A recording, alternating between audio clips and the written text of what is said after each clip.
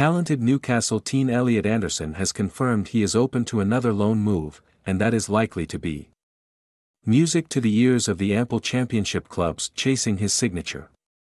Anderson first came to the fore early last year after making his senior debut for the Magpies aged just 18 against Arsenal. But it was only a year. Later when people truly began to sit up and take notice. He joined Bristol Rovers in the second half of the 2021-22 campaign and played a pivotal role in helping the Gas seal promotion from League Two. The climax of their campaign arrived on the very final day in a scarcely believable 7-0 win over Scunthorpe to seal. The most unexpected of promotions. He finished the campaign with 7 goals and 6 assists from 21 appearances for Joey Barton's side.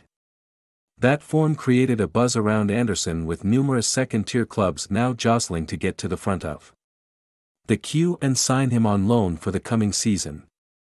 Luton, Huddersfield, West Brom and Millwall are all credited with an interest but there are likely to be many more also eyeing up Anderson. At present, he is on Newcastle's pre-season tour of Austria and while manager Eddie Howe has spoken fondly of him, the expectation is that a temporary move to the championship is the next logical step in his career progression.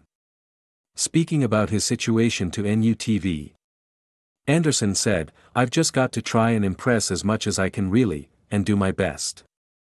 Which club will Anderson sign for?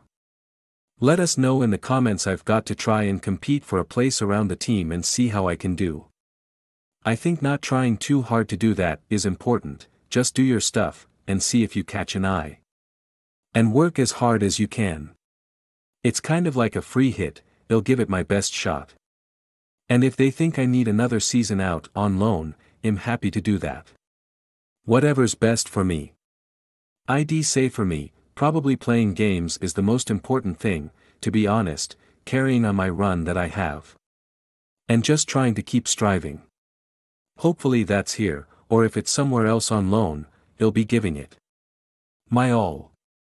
It was during that aforementioned loan stint in Bristol where Anderson coined the nickname Billy Elliot. Despite that, tongue-in-cheek reference to the title character in the smash hit 2000 film set in the North East about a working-class boy who discovers a passion for ballet, Barton also compared the youngster to a certain Argentine legend. Barton said last season, Billy, they've called him, a Geordie boy, a bit of a ballerina. I've been listening to Bill Shankly tapes a lot. He talked a lot about a 19-year-old Diego Maradona and how he slows down in the penalty area.